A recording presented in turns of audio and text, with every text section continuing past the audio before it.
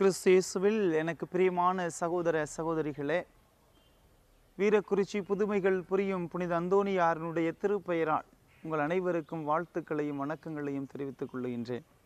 உங்கள் அனைவருக்கும் உயிர்ப்பு பெருவிழா வாழ்த்துக்களையும் மகிழ்வோடு தெரிவித்துக் கொள்கின்றேன். இன்றைய நாளிலே பாஸ்கா எண்கிழமை சனிக்கிழமையிலே நாம் இருக்கின்றோம். ஆண்டவர் இயேசு உயிர்த்தெழுந்து விட்டார். நம் அனைவருக்கும் வாழ்வு கொடுப்பதற்காக நாமும் உயிர்த்தெழுவோம் என்ற நம்பிக்கையை வளர்ப்பதற்காக யாரெல்லாம் அவர் மீது நம்பிக்கை வைத்திருக்கின்றார்களோ அவர்கள் அத்துணை பேருக்கும் வாழ்வை கொடுப்பதற்காக விண்ணகத்தை பரிசளிப்பதற்காக இயேசு உயிர்த்தெழுந்து விட்டார். நாம் எப்பொழுதும் மகிழ்வோடு இருக்கக்கூடிய மக்களாக வாழ்வதற்கும் அழைப்பு விடுக்கின்றார். பிரியமானவர்களே இன்றைய நாளிலே நாம் மார்க்கு நற்செய்தி பதினாறாவது அதிகாரம் ஒன்பதிலிருந்து பதினைந்து உள் வரை உள்ள இறை வசனங்களை சற்று தியானிக்க தாயாம் திருவவை நமக்கு அழைப்பு கொடுக்கிறது. ஆண்டவர் இயேசு உயிர்த்தெழுந்து விட்டார். இந்த உயிர்த்தெழுதல் செய்தியை உயிர்த்தெழுந்ததை தன்னுடைய சீடர்களுக்கு முன் அறிவிப்பதற்கு முன்பாகவே மகதலா மரியாவுக்கு ஆண்டவர் தோன்றுகின்றார். நாம் படிக்கின்றோம் இந்த நற்செய்தி சொல்லுகின்றது அவரிடமிருந்து தான் அவர் ஏழு பேய்களை ஓட்டியிருந்தார் என்று. இயேசுவிடம் எத்தனையோ மக்கள் வந்து சேர்ந்தார்கள்.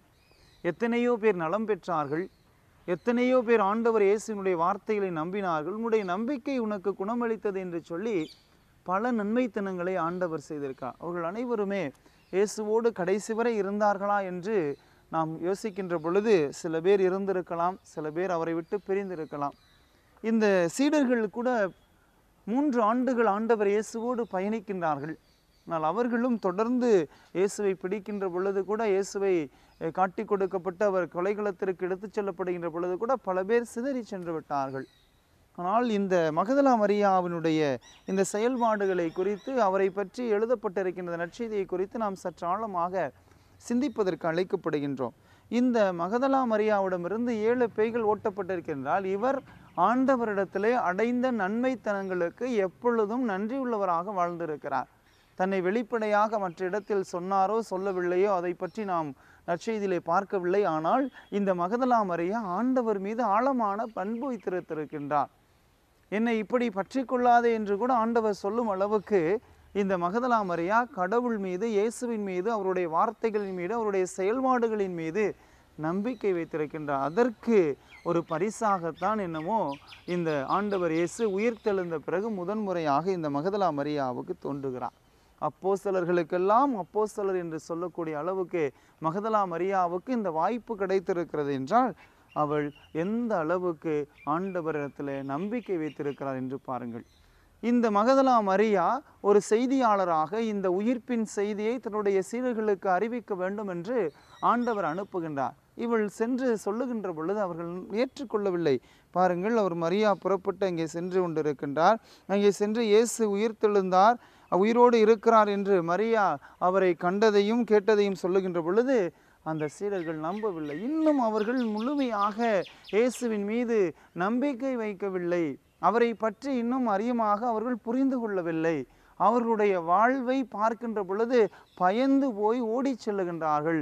உயிர்த்தெழுந்து அவருடைய ஆவியை கொடுத்து உனக்கு துணையாளராக நான் தருகிறேன். அவர் எல்லாவற்றையும் உங்களுக்கு கற்றுக் கொடுப்பார் என்று சொல்லி தூய ஆவியானவரை கொடுக்கின்றார். அந்த பெந்தகோசு நாளில் தான் அவர்கள் முழுமையாக அறிந்து கொள்ளுகிறார்கள். அதற்கு முன்பாக இயேசு உயிர்த்தெழுந்த பிறகு கூட அவர்களுக்கு அந்த உயிர்த்தெழுதலை இன்னும் அவர்கள் ஆழமாக நம்பவில்லை புரிந்து கொள்ளவில்லை. அதன் பிறகு பார்க்கின்றோம் இந்த மற்ற இரண்டு சீர்களுக்கும் இயேசு தோன்றுகிறார். அவர்களுக்கும் தன்னை வெளிப்படுத்துகின்றார். ஆனால் அவர்களும் உடனடியாக நம்புவதாக தெரியவில்லை. அந்த அளவுக்கு அவர்களுடைய நம்பிக்கை இருக்கிறது. இந்த நம்பிக்கையற்ற தனத்தை தான் ஆண்டவர் இயேசு கண்டிக்கின்றார். நான் உயிர்த்தெழுந்து விட்டேன். நான் சொன்னபடி உயிர்த்தெழு ஏனென்றால் இயேசு ஏற்கனவே உயிர்த்தெழுவதற்கு முன்பாகவே பலமுறை அவர்களுக்கு சொல்லி இருக்கின்றார் இந்த மூப்பர்கள் கையில் நான் அகப்பட போகின்றேன். அவர்கள் என்னை கொன்று விடுவார்கள். என்னை புதைத்து விடுவார்கள். ஆனால் நான் உயிர்த்தெழுந்து விடுவேன் என்று சொல்லி இருக்கின்றார் ஆனால் இந்த சீடர்கள் அதை முழுமையாக புரிந்து கொள்ளவில்லை. எனவே தான் அவர்கள் அந்த ஆண்டவர் இயேசு தன்னுடைய சீடர்களை வன்மையாக கண்டு இந்த அளவுக்கு நீங்கள் நம்பிக்கையற்றத்தனமாக இருக்கிறீர்களே. பிரியமானவர்களே இயேசு அந்த சீடர்களோடு வாழ்ந்த பொழுது கூட பல முறை அவர்களை சோதித்து பார்க்கின்றார். எந்த அளவுக்கு தன்னை பற்றி அவர்கள் புரிந்து வைத்திருக்கிறார்கள் என்று சோதித்து பார்க்கின்றார். அவ்வாறாக பார்க்கின்ற பொழுது நாம் பார்க்கின்றோம் இந்த பேதரு கூட நீர் உண்மையாகவே இறைமகன் இந்த மண்ணுலகிற்கு வர வேண்டியவர் என்றெல்லாம் சொல்லுகின்ற பொழுது பாராட்டுகின்றார்.